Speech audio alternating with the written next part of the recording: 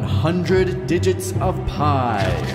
3.14159, this is pi, followed by 2653589, circumference over diameter 79, then 323, OMG, can't you see? 8462643, and now we're on a spree. 38 and 32, now we're blue, oh who knew? 7,950 and then a 2. 88 and 41, so much fun, now we're run. 97169393751. Halfway done. 458, now don't be late. 209, where's the wine? 74, it's on the floor. Then 94459. 230, we gotta go. 78, we can't wait. 1640628, we're almost near the end, keep going. 62, we're getting through. 089, 9 on time. 8628034, there's only a few more. 82, then 53.